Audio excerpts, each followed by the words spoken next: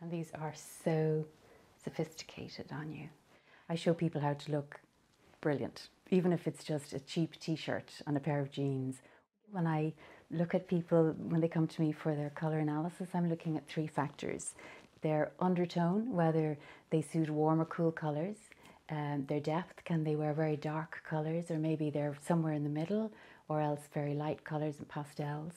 And also the clarity of color. Some people suit really, really bright colours, and other people are better in more muted, powdery colours.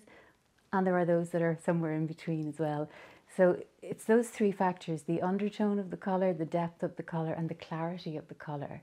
And it's the client's skin tone, eye tone, and hair colour that will determine that.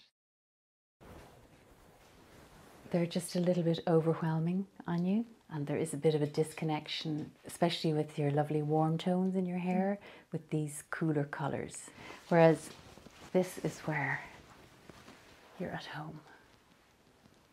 If you're environmentally aware, it's not great to be buying loads of clothes and throwing them out each season.